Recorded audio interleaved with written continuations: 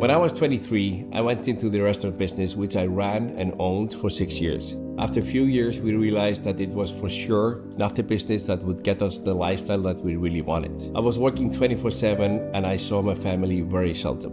We sold our restaurant business when I was 29 years old, and I went into sales and we joined our first network marketing company the same year.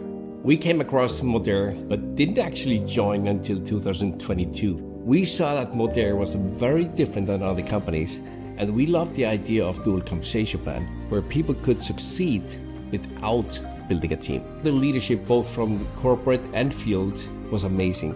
The products are unique, high quality, and affordable. What drives us is being able to help people creating flexible lifestyle or being able to work from anywhere with anyone with unlimited potential. Our lives has changed a lot since we joined Modere. The more you look into Modere, the more you will fall in love with this business model. Is it easy? No. Is it worth it? 100% yes.